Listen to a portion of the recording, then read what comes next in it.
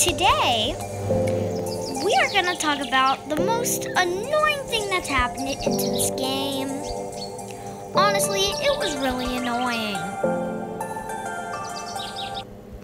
So, what it was was one day I was so when I didn't have the guard, a robber was coming up and I couldn't click on it, so it stole my pet.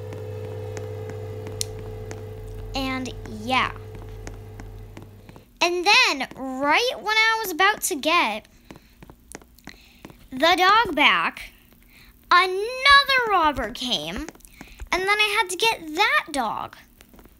Honestly, this is probably going to be a series, so, uh, what? Wait. I got a golden pet. But yeah, this is probably going to be a series about annoying things or happy things because some things are actually happy. Golden dog. I've never had a golden pet. Anyway, bye.